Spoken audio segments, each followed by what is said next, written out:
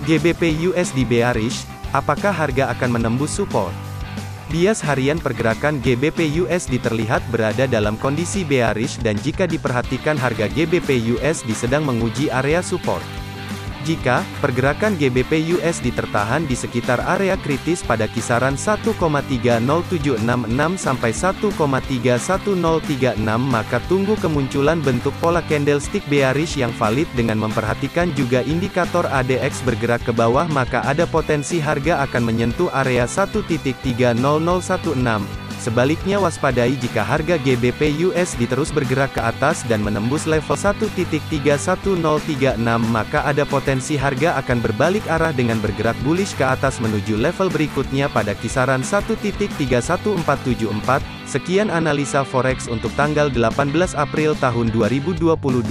Untuk konsultasi gratis mengenai posisi trading forex Anda, silakan hubungi 081212 983 101. Sekali lagi, 081 212 983 101. Kami dengan senang hati berbincang dengan Anda. Untuk mendapatkan analisa forex setiap hari, silakan subscribe ke channel ini. Sampai jumpa di video berikutnya.